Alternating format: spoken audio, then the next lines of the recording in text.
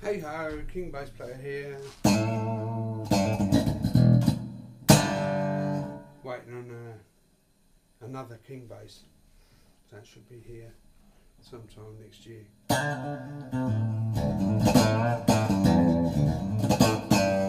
Just wanted to remind you how good the original King bass artist is.